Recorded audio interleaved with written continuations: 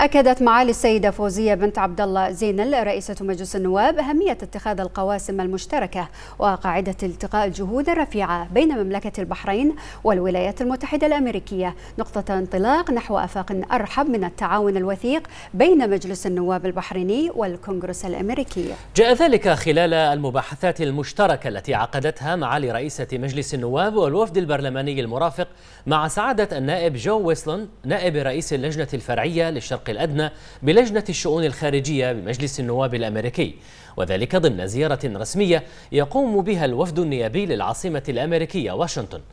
وأكدت معاليها التطلع لتأسيس مرحلة تعاون جديدة بين السلطة التشريعية في مملكة البحرين والكونغرس الأمريكي وذلك عبر القنوات التي تقوم على الثقة والاحترام المتبادل. وأكدت معاليها أن اللقاءات التي عقدت خلال الزيارة الراهنة تمثل فرصة نوعية للبدء في مرحلة تعاون متقدمة بين مجلس النواب والكونغرس الأمريكي. واستعرضت رئيسة مجلس النواب المخرجات المتنامية فيما يتصل بالإصلاحات الاقتصادية وما توفره مملكة البحرين من بيئة جاذبة للمستثمرين. من جانبه أشاد سعادة النائب جو ويسلون بما تشهده مملكة البحرين من جهود تطويرية وتنموية وما تحققه المملكة من مؤشرات تقدم متميزة بقيادة جلالة الملك المعظم حفظه الله ورعاه.